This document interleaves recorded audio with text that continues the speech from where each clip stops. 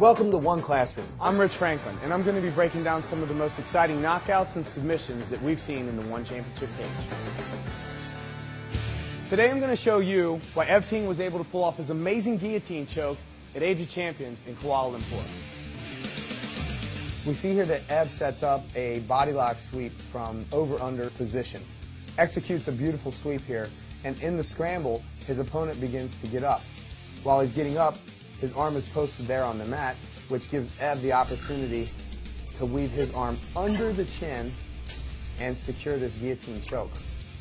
This is only going to lead to a further scramble as Ev's opponent begins to climb up the cage.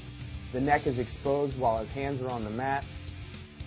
Ev is able to lock up the choke with his hands on the opposite side here while simultaneously using the cage to trap his opponent into this position so that he can't back out or gain leverage.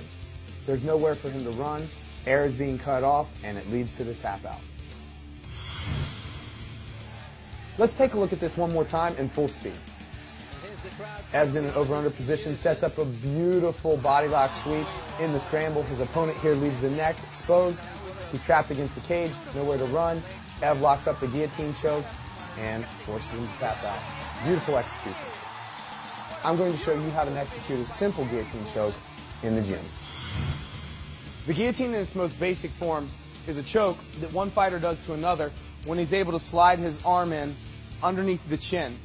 You have to get underneath the chin using this piece of your forearm pressing against this piece of the throat. As I slide under the chin, the arm comes across and I lock hands on the other side. To actually create pressure, I'll lift. As you can see, when I'm lifting, my opponent is actually able to lift his hips with me, alleviating some of the pressure. The reason why Ev was able to finish this choke in the cage is because he caught his opponent in transition from a takedown standing up off the cage. When his opponent was standing up, he left his neck exposed and slightly bent over. Ev took advantage, slid the arm in underneath the chin, grip the other side, and when he uses hips to create pressure, the cage left his opponent nowhere to run. Therefore, finishing the choke. That's the lesson for today. Ask your instructor at your local MMA gym to run you through this technique. And post your results at hashtag OneClassroom.